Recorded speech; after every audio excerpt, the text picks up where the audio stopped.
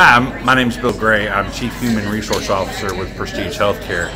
We've had Chris Carter here for our business and marketing development meeting. He's been an amazing speaker, entertainer, and helped bring together the focus that we had for the meeting and sent everybody, everybody out here with a high level of energy and focus. And we're glad to have him and highly recommend Chris uh, any, any needs you may have uh, for your business